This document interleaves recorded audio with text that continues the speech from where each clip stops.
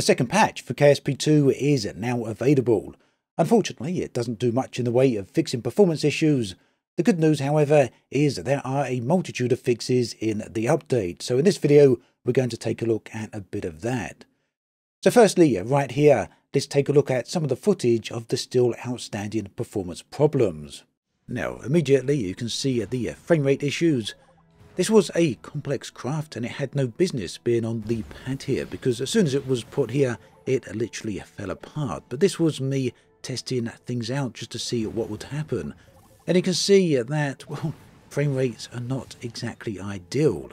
So let's try it with another ship, something that's a little bit more suited to launching from that launch pad.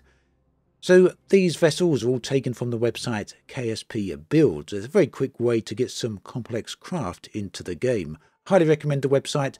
Very, very good stuff. Again, as always, you can find a link below. So immediately you can see as soon as we're on the launch pad, not actually doing anything, we're still only getting at 21 frames a second. Now when we try and launch that drops down even lower and unfortunately, for whatever reason, uh, this craft completely falls apart. Now, I do know that this craft does usually work, I've used it in the past, before patch 2, and had no problems whatsoever. So there's some apparent structural issues here, but not sure why this is a problem now, when it wasn't previously. The obvious next step then was to try a much simpler craft, and you can see this time things do seem to work, although again we're still getting at those low frame rates. Just as a reminder, this is running on an RTX 4090 with the Ryzen 7 5800X. Now I don't want to labour on all of this too long, but I do want to check out staging. Stage In does work, although you can see there was a slight pause when we uh, activated that.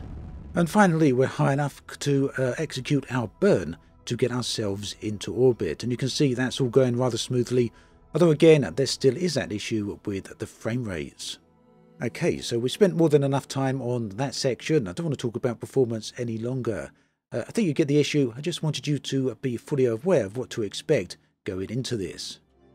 One other thing I do briefly want to touch on though is after getting that ship into orbit, I exited the game and then reloaded the save file. And you can see immediately upon the save file loading, the rocket just blew apart. Absolutely no rhyme or reason for this, but seemed to be a pretty consistent every time I loaded in. Um, hopefully they do get fixed sooner rather than later, but for now let's focus on some of the things that the patch does uh, address. So if we go here we can see the patch notes. I'm not going to go through all of these, they are rather extensive, but I will link these in the video description below. Obviously you can see there are absolutely tons of fixes here. So uh, my feeling is, my opinion is that Intercept Games are making good progress with these updates. We're seeing the patch frequency uh, happening pretty often here. There's a nice cadence of uh, updates. So this is exactly what we want to see.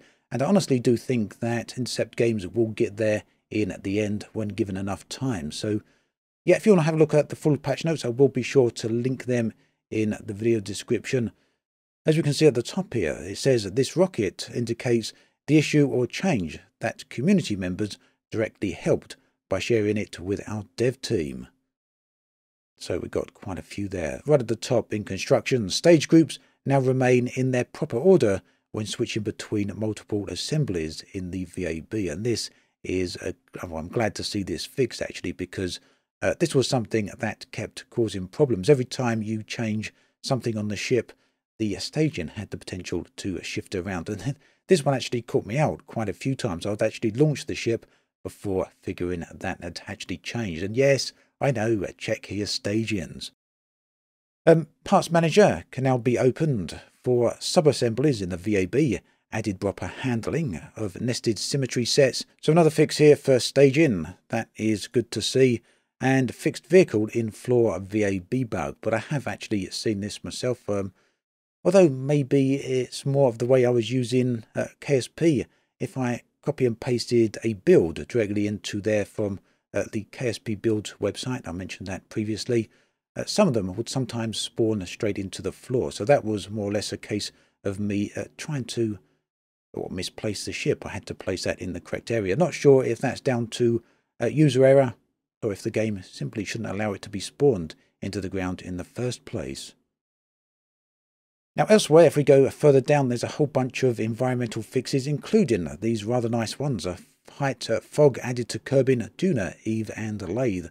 Haven't had a chance to look at this myself just yet. It's something I do want to check out though, uh, as soon as I possibly can.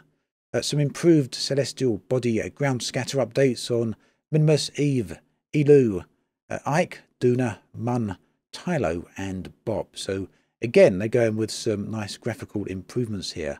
Glad to see that is going on. Some terrain accuracy fixes. Um, there was a nice fix as well. We'll show that on screen, or a nice addition actually, improvement of added new building illumination to the Kerbal Space Center that activates and deactivates based on the time of day. And finally, another staging fix. There's a lot of staging issues here. Uh, these ones really have been, for me, the most game-breaking problems. These have caused uh, the most significant problems for me, aside from the performance issues. So fixed spacebar sometimes are not triggering a stage in. That one happened quite a lot for me. So yes, it seems that patch 2 is a good update. You may want to jump in and check it out, but do keep in mind the performance issues are still very much there. So uh, be aware of that. Do let me know what your favourite aspect of this update is. Hoping to hear very soon about update 3. Yes, update 2's only just arrived and I want to hear about the next update already. But, you know, that is my passion for KSP2. I really want to see it do well. At any rate, let me know in the comment section what is your favourite part of patch 2. As always, thanks for watching, and I'll catch you guys and girls next time.